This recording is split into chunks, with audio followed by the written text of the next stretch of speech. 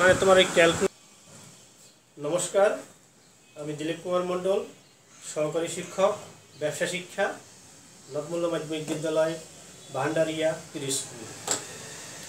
প্রিয় শিক্ষার্থী, তোমরা এই বিশ্বব্যাপী করোনা মহামারী দুর্যোগের সময় স্বাস্থ্যবিধি মেনে চলে সবাই সৃষ্টিকর্তার মহান আশীর্বাদে তোমরা ভালো আছো, আমিও ভালো আছি। তো নদমুল্লা মাধ্যমিক বিদ্যালয় নবম, দশম শ্রেণির শিক্ষার্থীদের অনলাইন ক্লাসে স্বাগত।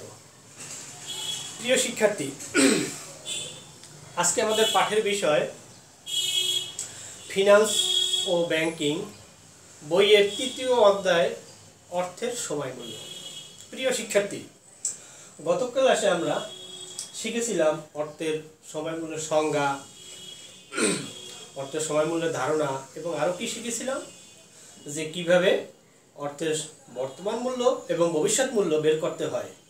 তাও আমরা শিখেছিলাম।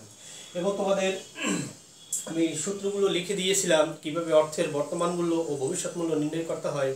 এবং আমি চারটি সূত্র তোমাদের লিখিয়ে দিয়েছি। আজকে আমরা অর্থের বর্তমান মূল্য নির্ণয় করব। তো অর্থের বর্তমান মূল্য নির্ণয় করতে গেলে আমাদের কীভাবে কী করতে হবে? অঙ্কের মাধ্যমে শিখতে হবে যে কীভাবে আমরা অর্থের বর্তমান মূল্য নির্ণয় করব। তো বন্ধু শিক্ষার্থী বন্ধুরা, তোমরা আমার, আমি এখন অঙ্ক করব এবং তোমরা আমার সাথে সাথে অঙ্ক করো এবং কীভাবে দেখো, কীভাবে অঙ্ক, অর্থের বর্তমান মূল্য নির্ণয় করা যায়। তা অঙ্কের করার, অঙ্ক করার মাধ্যমেই তো আমরা অর্থের বর্তমান মূল্য নির্ণয় করা শিখব। আসো আমরা, অঙ্কের বর্তমান মূল্য নির্ণয় করি। যদি তুমি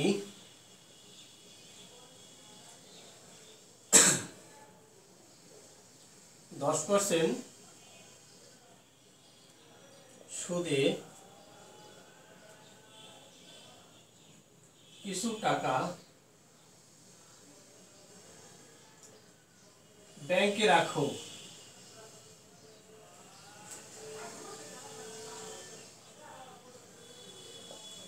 তবে পাঁচ বছর পর পঞ্চাশ হাজার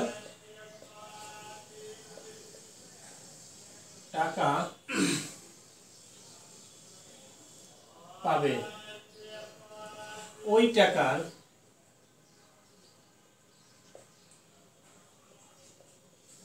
বর্তমান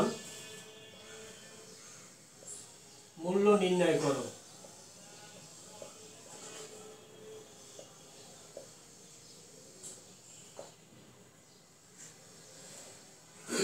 প্রিয় শিক্ষার্থী, তোমরা সবসময় লক্ষ্য করবা যে আমি তোমাদের লিখিয়ে দিয়েছিলাম, যদি সুদ বছরে একবার গণনা করা হয়, তাহলে একটা সূত্র, এবং যদি সুদ একাধিকবার গণনা করা হয়, তাহলে আরেকটি সূত্র। তাহলে এখানে কিন্তু সুদ তোমার একবার গণনা করা হয়েছে, এর জন্য আমরা ওই সূত্রটা ব্যবহার করব যে আমরা জানি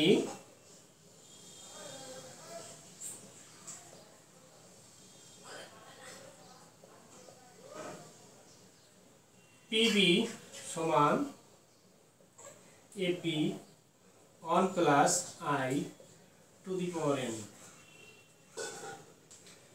তো এখানে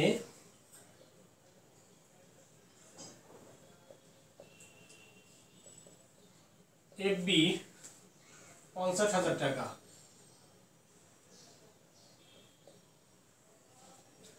তোমার আই দশ পার্সেন্ট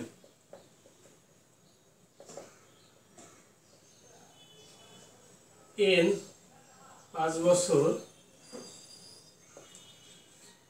তোমার বাইর করতে হবে পিবি মানে পেজেন্ট বলে তোমার বের করতে হবে।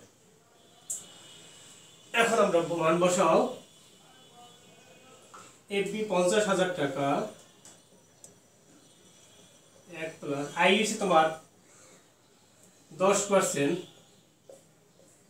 এন পাঁচ বছর। পঞ্চাশ হাজার এক দশমিক এক শূন্য পাওয়ার পাঁচ দাও। পঞ্চাশ হাজার প্রিয় শিক্ষার্থী, এক দশমিক এক শূন্যের পাওয়ার যদি তুমি পাঁচ দাও, তো সাইন্টিফিক ক্যালকুলেটার মাধ্যমে তুমি এই পাওয়ারটা বের করবা এতে মান হয় তোমার এক দশমিক ছয় এক শূন্য এক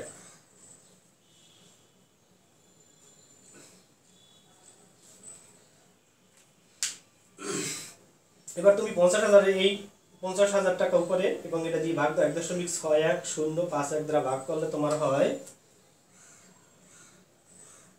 একত্রিশ হাজার ছিচল্লিশ টাকা শূন্য ষাট টাকা। টাকা প্রায়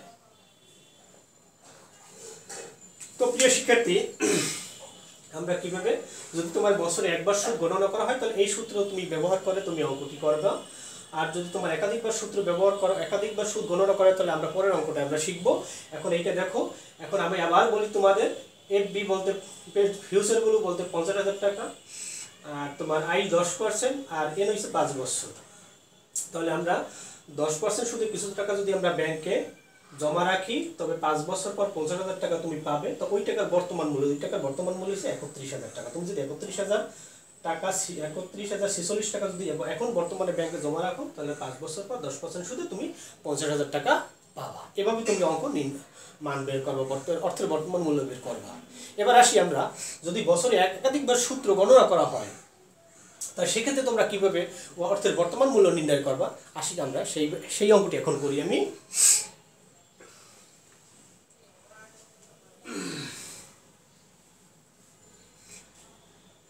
তো শিক্ষার্থী, প্রিয় শিক্ষার্থীরা, তোমরা তো অঙ্কটি আমার সাথে সাথে তুলছো। এখন আমরা পরের অঙ্কে যাই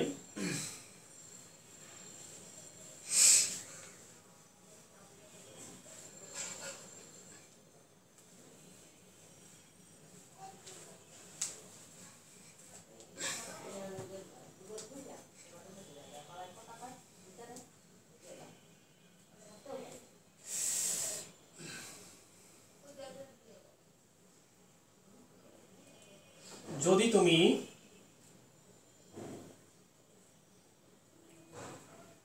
নয় পার্সেন্ট সুদে নয় পার্সেন্ট মাসিক চক্র বৃদ্ধি সুদে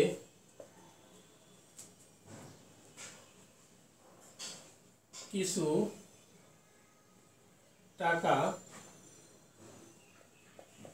ব্যাংকে রাখো। তবে ছয় বছর পর সত্তর হাজার টাকা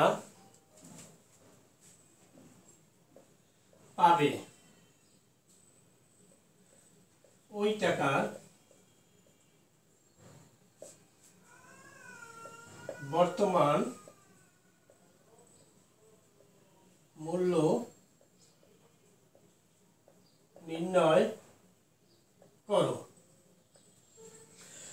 প্রিয় শিক্ষার্থী, এবার আমরা শিখব, যদি তুমি দশ নয় পার্সেন্ট মাসিক চক্রবৃদ্ধি সুদে এবং কিছু টাকা ব্যাংকে জমা রাখো, তবে ছয় বছর পর তুমি সত্তর হাজার টাকা পাবে। ওই টাকার বর্তমান মূল্য।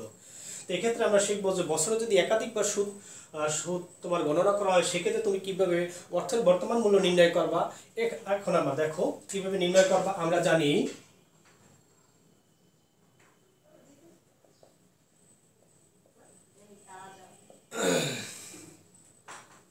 পিবি সমান এফ বি এক plus I to the power M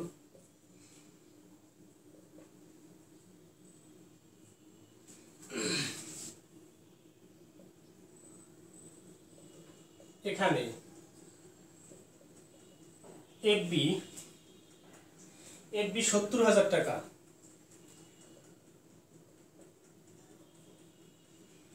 তোমার আই নয় পার্সেন্ট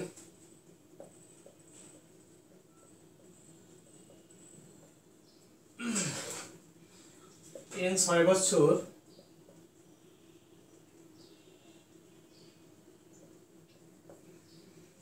আর এম বারো বার আর পিবি সমান কত? প্রিয় শিক্ষার্থী, তোমরা সবসময় লক্ষ্য করবা বছর যখন চক্রবৃদ্ধি সুদ গণনা করবে, তখন দেখবা যে কয়বার গণনা করছে। এখানে কিন্তু তোমার বলা আছে যে মাসিক। এই যে মাসিক তোমার বলছে এই জন্য তোমার বারো। এম হয়েছে তোমার এম এর মান হয়েছে তোমার বারো। কেন? বছরে তোমার বারো মাসে এক বছর। এই জন্য বারো বার তোমার এটা গণনা করা হয়েছে। এই জন্য তুমি এম এর মান বসাবা বারো। আর যদি বছরে তোমার দুইবার গণনা করে, তাহলে এম এর মান হবে দুই। এবং বছরে যদি তোমার তিনবার গণনা করা হয়, তাহলে তুমি এই জায়গায় এম এর জায়গায় দেবা তিন। এবং বছরে যদি ছয়বার গণনা করা হয়, তাহলে তুমি এই জায়গায় দেবা ছয়। তো এখানে তোমার মাসিক বলছে, এই জন্য তুমি জায়গা দেবা কত? বারো। কি জন্য এক বছরে বারো মাস, এই জন্য বারো বার তোমার গণনা করা হয়েছে। এইটুই তোমার পার্থক্য শুধু। যদি তোমার একাধিক সুদ গণনা করা তাহলে এইটুই তোমার শুধু পার্থক্য। এম এর মানটা আর কি বাড়বে শুধু। এম এর কি করবা? আই এম দ্বারা ভাগ করবা। সাথে এম গুণ করবা। এবার আমরা মান বসাই। সত্তর হাজার টাকা। এক প্লাস আই তোমার দশমিক শূন্য নয়। বারো দ্বারা ভাগ করো। ছয় গুণ বারো, সত্তর হাজার টাকা, এক প্লাস দশমিক শূন্য নয় বারো দ্বারা ভাগ করলে তোমার দশমিক শূন্য শূন্য আট আসবে। আর ছয় বারং বাহাত্তর। এবার আসো।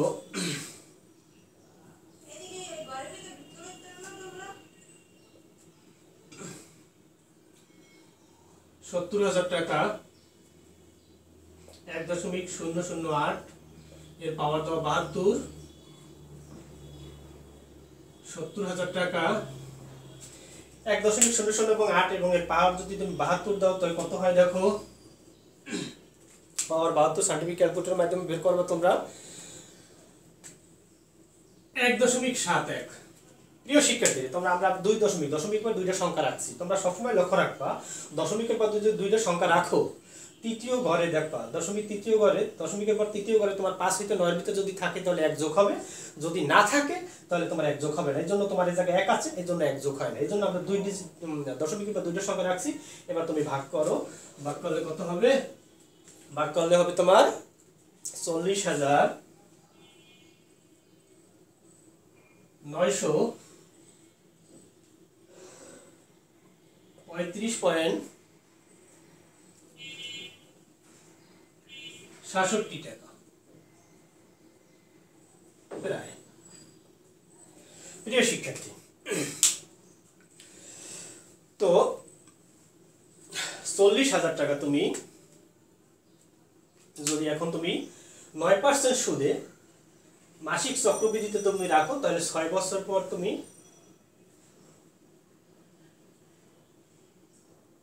সত্তর হাজার টাকা পাবা। তাহলে প্রিয় শিক্ষার্থী, আমরা শিখলাম কি? অর্থের বর্তমান মূল্য কীভাবে নির্ণয় করা হয়? বছরে যদি একবার সুদ গণনা করে, তাহলে আমরা পারব। আর যদি বছরে তোমার একাধিকবার সুদ গণনা করা হয় তাহলে তোমরা পারবা। তাহলে বছরে যদি একাধিকবার সুদ গণনা করে, তোমার একটু পার্থক্য হবে, তুমি এই জায়গায় এম এনের সাথে এন এনের সাথে এন গুণ হবে আইরে তুমি এম দ্বারা ভাগ করবা। আর যদি একা, একবার গণনা করা হয়, তাহলে তোমার সাধারণ সূত্র আগের যে আমরা অঙ্কটি করা হয়েছে পূর্বের যে অঙ্কটা, ওইটা ওইভাবে করবা। এখন আমাদের তোমাদের বাড়ির দুটি কাজ দিই। যে কাজটি তোমরা একইভাবে আমি দুইটা অঙ্ক দেবো এবং একই নিয়মে। একবার দেবো এক- এক- একাধিকবার গণনা করে এইভাবে একটা অঙ্ক দেবো, আর একবার গণনা করে সুদ, এইভাবে এইভাবে একটা অঙ্ক দেবো। তোমরা খাতায় তুলে নাও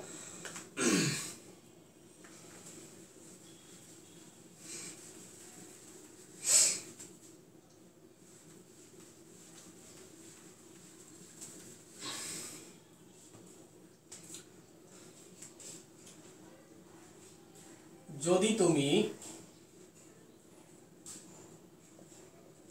দশ পার্সেন্ট সুদে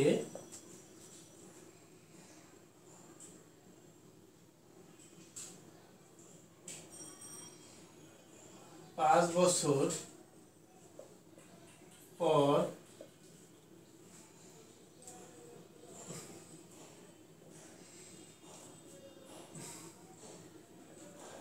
ষাট হাজার টাকা পাবে তবে ওই টাকার বর্তমান মূল্য নির্ণয় করো।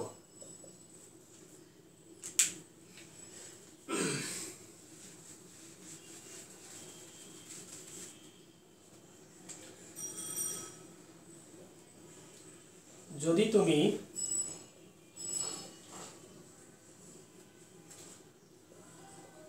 সাত পার্সেন্ট মাসিক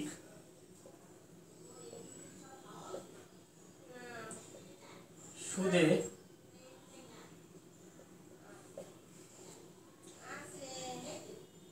কিছু টাকা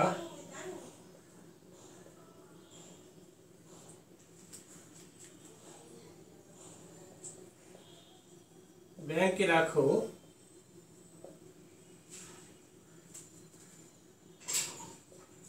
তবে আট বছর পর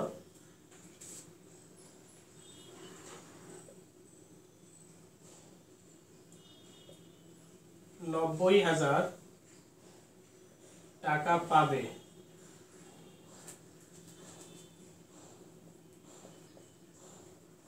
টাকার বর্তমান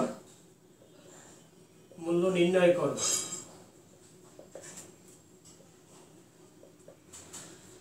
প্রিয় শিক্ষার্থী, তোমরা সবাই লক্ষ্য করো, যদি তুমি দশ পার্সেন্ট সুদে পাঁচ বছর পর ষাট হাজার টাকা তুমি পাবে, ওই টাকার বর্তমান মূল্য, এটা এখানে কিন্তু তোমার একবার সুদ গণনা করছে। একবার। আর এই জায়গা তোমার দুই- নম্বর অঙ্কে তুমি যদি তুমি সাত পার্সেন্ট মাসিক চক্রবৃদ্ধি সুদে কিছু টাকা ব্যাংকে জমা রাখো, তবে আট বছর পর তুমি নব্বই হাজার টাকা পাবে।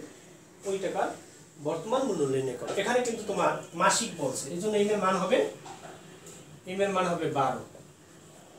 এটা মনে রাখবা। এই অঙ্ক দুইটা তোমার বাসায় বিয়ে করবা।